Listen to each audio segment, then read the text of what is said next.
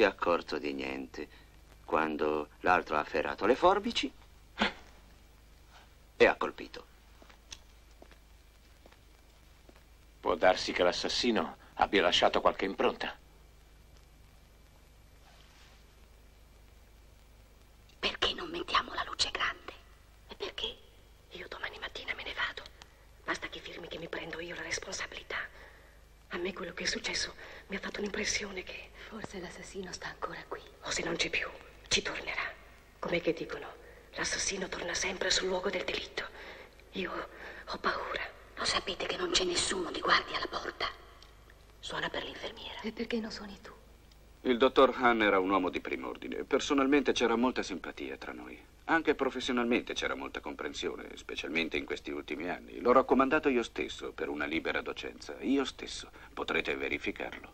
Non era viceprimario, vero? No, lo sarebbe diventato molto probabilmente dopo la libera docenza. Così lei non sarebbe più stato l'unico viceprimario, vero? Eh già. Saremmo stati in tre al ritorno del collega Martin attualmente in Italia. Devo far controllare? No.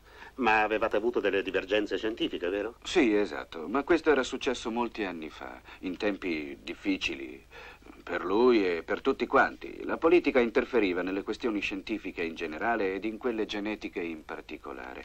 Ma tengo a precisare che alle misure amministrative prese a suo carico io fui completamente eh, estraneo. Ecco tutto.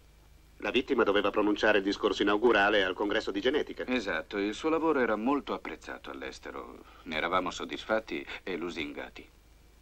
Mm. E il suo lavoro è altrettanto conosciuto? È completamente diverso, vede. Io sono un cardiologo, ma i miei lavori sono abbastanza noti, modestamente. Come potevate avere divergenze scientifiche se lavoravate in due campi diversi? Vede, la genetica interessa tutti i rami della medicina e la cardiologia non può prescindere dalle leggi dell'ereditarietà.